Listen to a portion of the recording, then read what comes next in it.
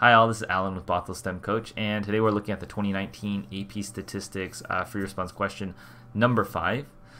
And as usual, if um, I have any corrections to make, um, if I make any mistakes in the video, I'll put the corrections in the description below, as well as there'll be a link to the PDF solutions in the description below. So we have a company that manufactures smartphones develop a new battery that has a longer lifespan than that of a traditional battery. From the date of purchase of a smartphone, the distribution of the lifespan of the new battery is approximately normal with a mean Let's write this mean equals 30. Standard deviation is 8. For the price of $50, the company offers a two-year warranty on the new battery for customers who purchase a smartphone. The warranty guarantees the smartphone will be replaced at no cost to the customer if the battery no longer works within 24 months of the date of purchase. And how many months from the date of purchase is expected that 25% of the batteries will no longer work? Okay, so the mean is 30, standard deviation is 8, it's a normal curve, and they want to know after uh, what, how many months is expected at 25%. So all of these area, this would be 25%, right? And I want to know what what what what value this is. That would be where um, all of these would have failed, right? That's my 25%. So um, here you can use the inverse norm if you want to do it with a with a calculator, which I, I highly generally recommend. Going to inverse norm, the area Inverse norm is always cumulative. It always gives you the area to the left. So you put 0.25. Uh, mean 30. Standard deviation is 8. And so I get this z value here would have been 24.604. Okay, and that's how many months? Um, between less than about 24.604 months. So it's pretty close to two years. This is very close to the two years. Okay.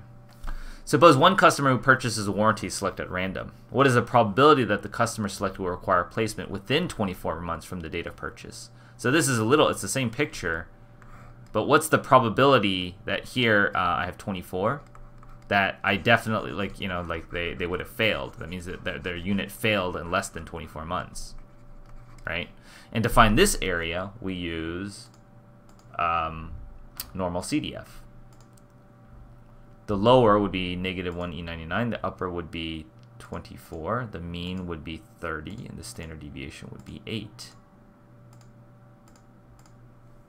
So I get this probability to equal 0 0.2266.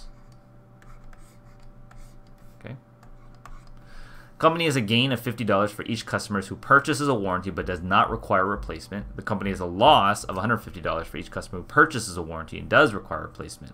What is the expected value of gain for the company? Well, that's simply $50 times the probability they needed to be replaced, which is 0.2266. All right, sorry, it, it didn't need to be replaced. My bad. Let me do that because I get $50 if I don't need to replace it. Part B was telling me the probability that they would need to replace it. So I would do 1 minus 0 0.2266. And then I lose $150 every time I do have to replace it, 2266. So we would do 50 times 1 minus uh, this answer minus 150 times the answer. I would get 4.67. They would gain $4.67. They don't make a lot, but they do it in, in volume, right? So that, you know, I, I wouldn't be surprised if it was around this or maybe even less because they do it in volume because they want to buy like they want to sell like lots and lots of these warranties and they make four bucks off each one. It's a pretty good deal for them. Um, yeah, so hope you found that helpful. Um, let me know if you have any questions or if you notice I did anything wrong in the comments below, and I'll see you in the next video.